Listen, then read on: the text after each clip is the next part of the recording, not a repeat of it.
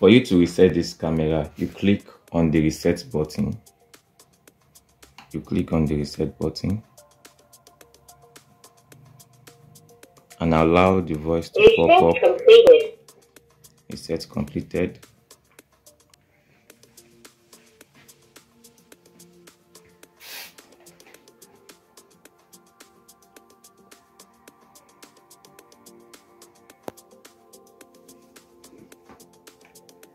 Set completed. For you to connect your PTZ camera to your solar panel you have to remove this rubber. Then you turn the solar panel on. You switch it on. You switch it on. You can also charge this solar panel by connecting your USB cable to this port and connecting it to an electric source. So it's on now. Then you can close it to make it waterproof. After you've done that, you can then connect it to the camera.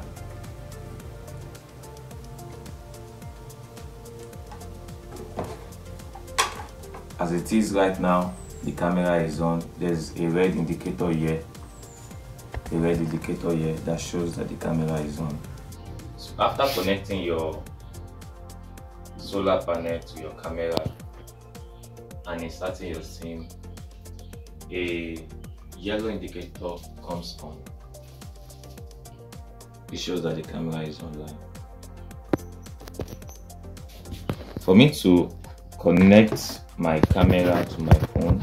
I need to download the V380 Pro app V380 Pro app and register on the app. Then I click on add device add device. It will ask me to scan the barcode. So scan then you click on add cameras add cameras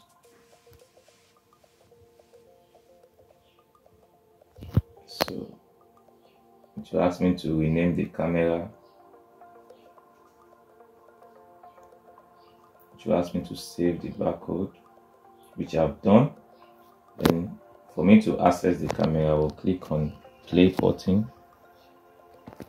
Play button.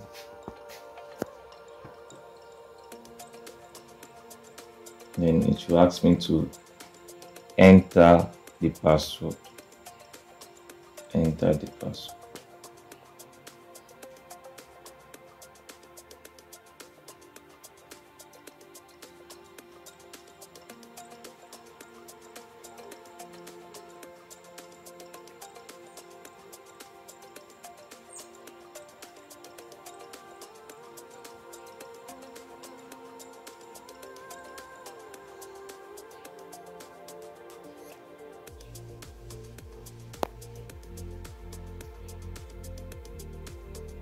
So our camera is currently online.